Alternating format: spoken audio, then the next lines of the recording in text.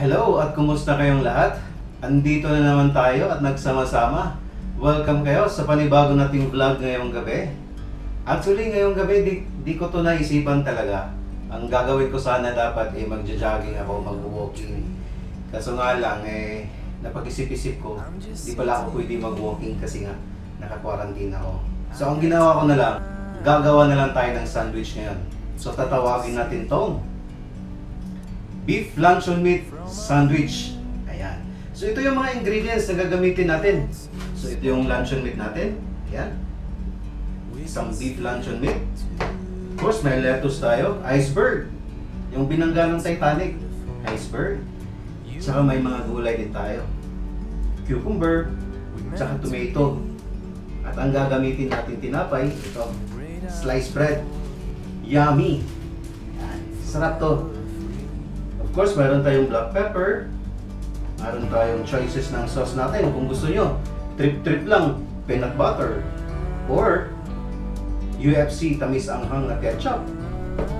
At saka may cooking oil tayo. At ito naman yung egg natin. Para i-dip natin dito yung ano luncheon meat natin. So, to start, lalagyan muna natin yung itlog ng ano, black pepper. Tsaka natin siya ibabati. Hindi kasi ako naglalagay na ng ano ngayon, ng salt.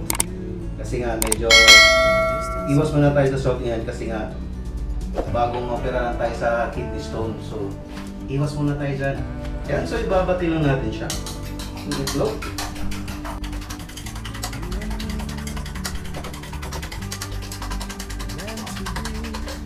So, ayan. At tayo ay ready ready na sa, pag, sa pagluto. Tara, luto tayo.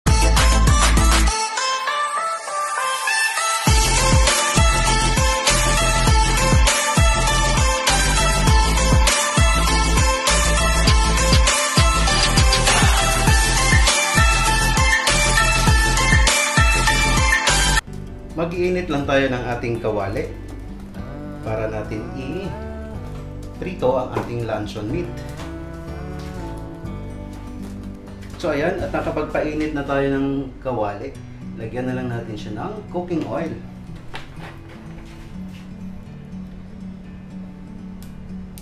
Depende sa inyo kung gaano karami ang ilalagay nyo na cooking oil. Kung gusto nyo ba ng deep fry, yung pagka-fry ng luncheon meat nyo, or yung natural lang na pagka-fry. So ayan, antayin lang natin mainit yung cooking oil natin. Tsaka natin ilagay ang ating luncheon meat. One eternity later. Ayan, at mukhang mainit na yung cooking oil natin. Ilalagay na natin isa-isa yung ating luncheon meat. Dahan-dahan lang. Huwag masyadong magmadali para naman hindi tayo matalsikan ng mga cooking oil. Kasi nga, mahirap na. Mahirap na mapasok.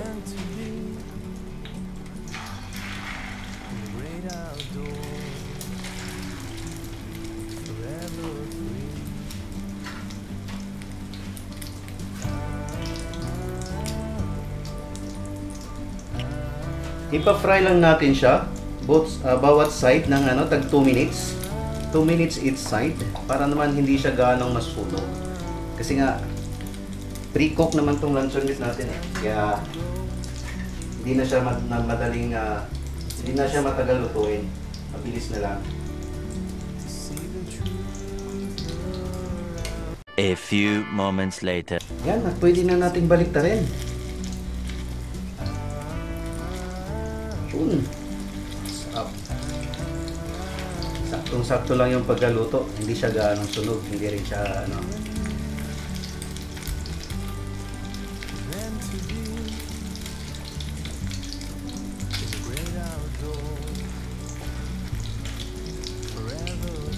Oh my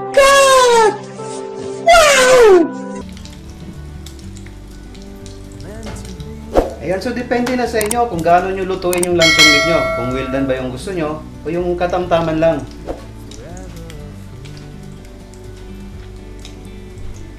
So, ayan.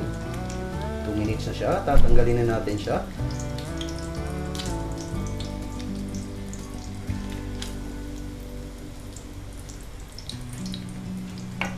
sa separate na plate.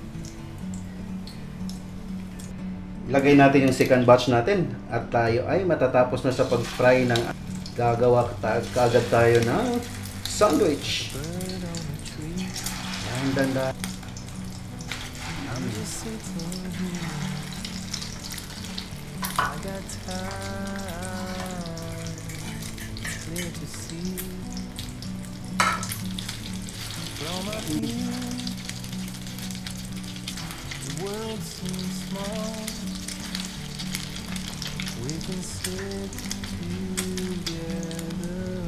Ayan, at luto na yung luncheon meat natin.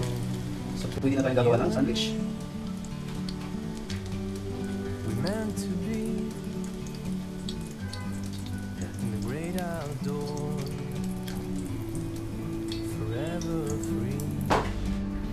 Ayan, at luto na yung luncheon meat natin. At gagawa na tayo ng at gagawa na tayo ng special na sandwich. Beef luncheon meat. Beef luncheon meat. So ito na yung gagawin natin. Of course, gagawa kasi tayo ng sandwich. Susuot muna tayo ng gloves. Para naman eh, may food safety tayo na tinatawag.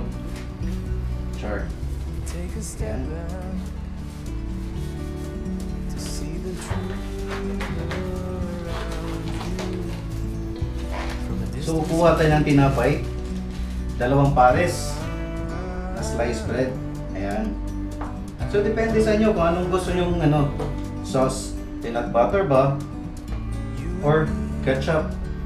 So, sa akin, parang trip ko ngayon mag peanut butter. So, peanut butter muna tayo. Kung hindi natin magustuhan, ilipat tayo sa ano, ketchup. So, spread nyo lang yung peanut butter. Yan. Spread nyo lang. Gusto nyo ng maraming peanut butter, dagdagan nyo. Depende sa trip. Mas marami, mas masaya. Diba? So, ayan. So, ayan. Ayan na yung peanut butter na sandwich natin na may peanut butter. So, gawin natin dalawa.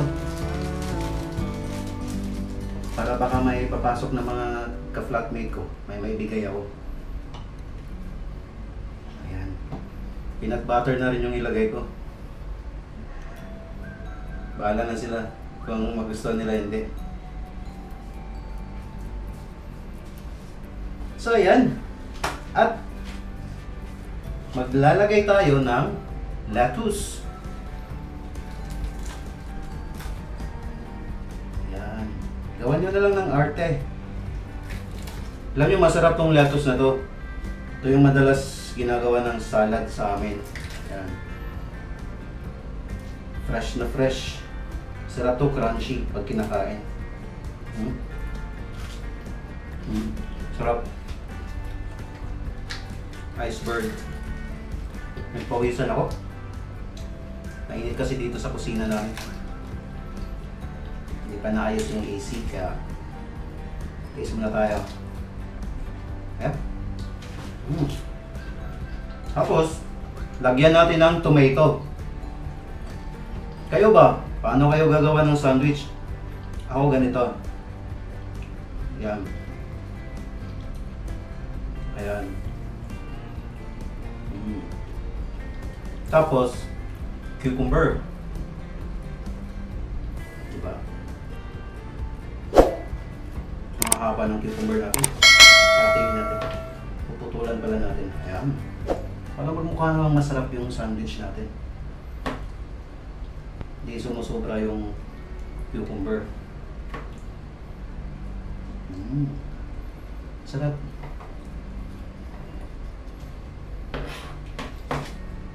So, ayan. So, ayan na. At ilalagay natin ang ating luncheon meat. Yun, no? Wow! Ang sarap. Yan!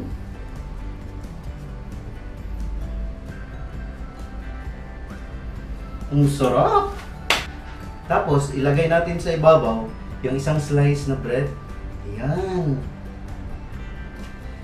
So, ready na yan kainin. Pwede, pwede na. Pero gagawin natin, hahatiin natin siya sa gitna. So, sa paggawa, paghiwa ng sandwich, hahatiin niya pa triangle. Tingnan nyo.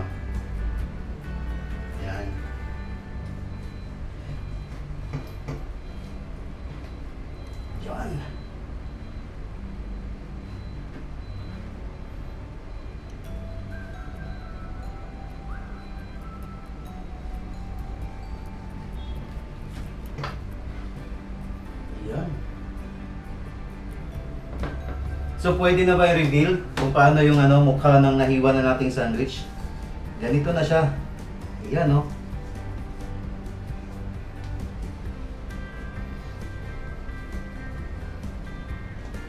So ganito na ang mukha ng nahiwa natin na sandwich. O di ba ang sarap?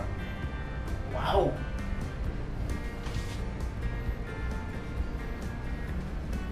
Ayan, at ready na tayong kumain. Ayan, at ito na yung finished product natin. Lan beef luncheon meat sandwich. Ayan. So ang, ang nilagay natin dito is ano lang TLC. Hindi tender loving care, kung hindi tomato, lettuce, tsaka cucumber. Kaya TLC tawag namin diyan. Ayan. So, tikman na natin 'to. Sana successful tong ginawa nating sandwich at masarap. Halika, tikman natin.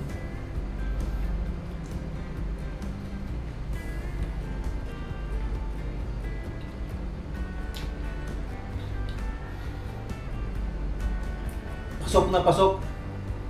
Ang sarap. Ang sarap pala ng lasa ng ano. Peanut butter. Nagbe-blend siya sa mga vegetables na, na, ano, na lasa. At may kasama tayong panulak. Pineapple juice. Ayan. So ayan, at kung nagustuhan nyo ang recipe ko ngayong gabi, huwag na huwag kalimutan na mag-like at subscribe sa channel ko, Uncle Alex Vlog.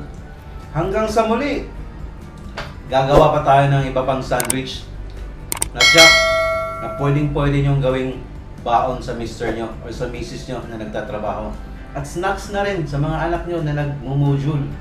So ayan, at kakain muna tayo dito. Mm. Sarap. So ayan, maraming salamat at bye-bye!